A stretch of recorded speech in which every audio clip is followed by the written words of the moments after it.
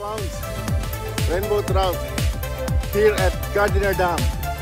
Woohoo! Hindi po tayo wing zero! Aha!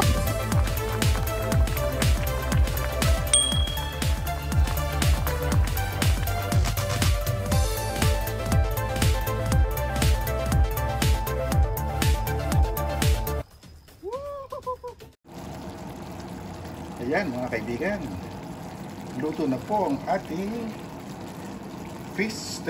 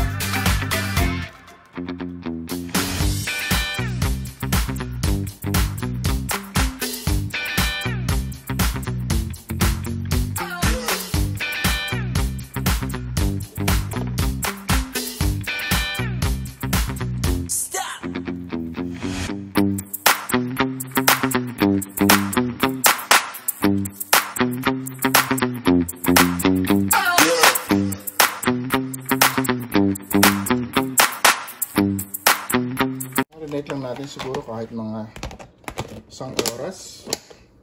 Mas maganda sana kung overnight kaso kailangan natin.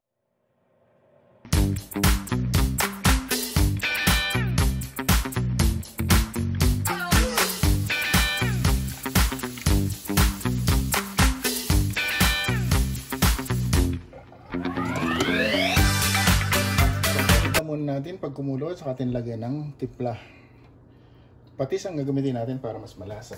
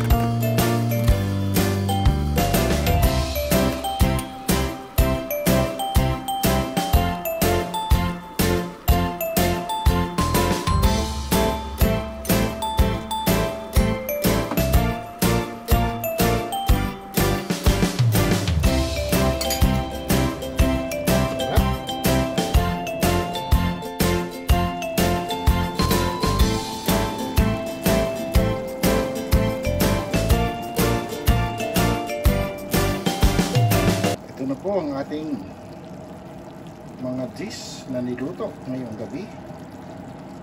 Ayan. Ito ang ating pinangat sa kamatis. Ito po yung ulo at sa kabuntot ng rainbow trout. At siyempre ito yung po yung ating fish steak o rainbow trout steak.